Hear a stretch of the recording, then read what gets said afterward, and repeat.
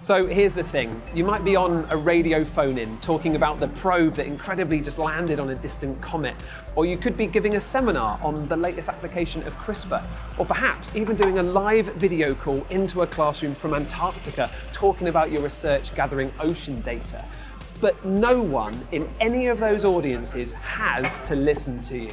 Don't get me wrong, all of these science communication projects are about really interesting, exciting, active areas of science. But someone with the radio on could be having a chat with a mate, a conference guest could be distracted by Twitter, and kids in the classroom could be staring into space, picking their noses. There's little point putting in the time and effort to do science communication if no one listens. This video is about how to ensure they do. It's part of a YouTube course on how to talk about science with non-experts. This is the first of three videos about capturing and keeping your audience's attention. And although I wrote the course with a focus towards practicing scientists, I'm hoping it's helpful for anyone interested in science communication, especially this video. I've got five top tips on the way for you, so pull on the waders. It's time to go hook an audience. Good timing. It's got a big hook on the front.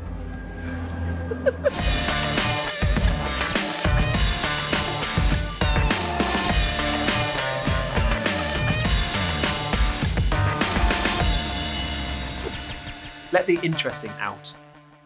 First up, don't feel you need to put in lots of effort making your science interesting to your audience. It is interesting. I guarantee it. If you're doing a PhD or a postdoc on it, if you're in a science centre or a museum and this is some science you really want to talk about, you are interested in it. You've just got to let that interesting out. But it needs to be there interesting. I was at an event recently where groups of young people were presenting science research that they'd been working on. What they'd done was amazing, and I remember two lads spent five minutes telling me all about ionic solids, what they are, and how they made them. They found the chemistry and the process really interesting. I didn't. But then, almost as an afterthought, they mentioned that these ionic solids could revolutionise battery tech or space rocket engineering. Boom! Then I was interested. If they'd started with, we've been working on something that could uh, be a brand new lubricant for space rockets, then they'd have had me from the off. Don't start with simply explaining your research or even necessarily what you've discovered. Start with something your audience will be interested in, something relevant to them that will capture their attention. That's the hook. There are some types of hook that regularly deliver the goods. I'm going to introduce you to them now. And if you drew up an audience profile in video two, that will help you identify how best to use them. Curiosity is the itch they can't resist scratching. Granted, finding a hook that your audience will find interesting is easier for research on volcanoes or black holes or cute animals, as you can tap into the almost universal interests of epic, dangerous stuff, the mystery and magnitude of space, and, well, cute animals. Likewise, if your research is on ways to make people healthier, richer, or sexier, then you've got it easy.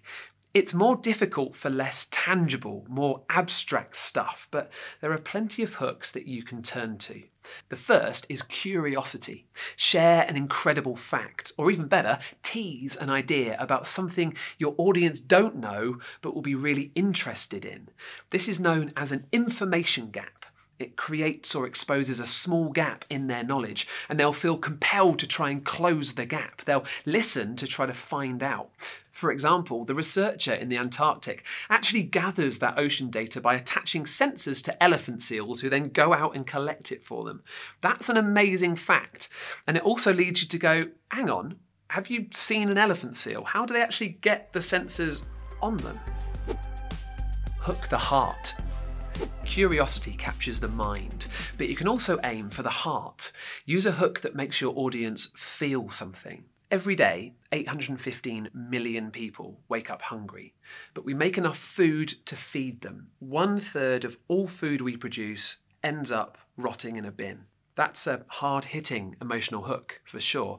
The speaker will no doubt go on to discuss how the lack of food comes from issues with distribution and cost.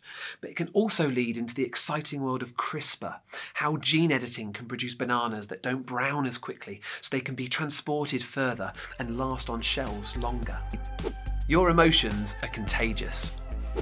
Hands up if you've watched someone talking about something that you didn't think you'd be interested in at all, but because they were so passionate about it, their excitement and enthusiasm was infectious and you were captivated. Yeah, if, if people see you love what you're talking about, they'll love it too. So explain why it means something to you because you love peeling back the layers of the universe, because you enjoy working on something that no one else currently has a clue about. That self disclosure piques people's emotional empathy.